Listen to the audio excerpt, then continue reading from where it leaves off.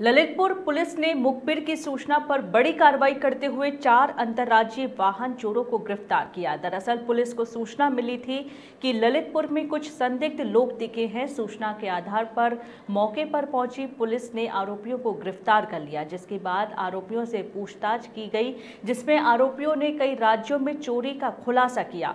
फ़िलहाल आरोपियों से पूछताछ जारी है, जिसमें कई और बड़े खुलासे होने की उम्मीद है। की सूचना पे थाना मेहरोनी पुलिस द्वारा सौजना रोड से कुछ लोगों को हिरासत में लिया गया था। उनसे पूछताछ करने पर यह ज्ञात हुआ कि वो लोग एक संगठित रूप से बाइक चोरी का कार्य करते हैं। ये एक अंतर्राज्यीय गिरोह है।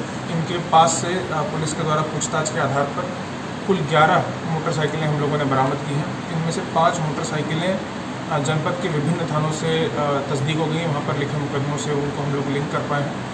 इसके अलावा अन्य बच्चों की मोटरसाइकिलों पर भी हम लोग लगे हुए हैं। D C R B S C R B को हम लोगों ने इसमें पत्राचार उनसे दिया है।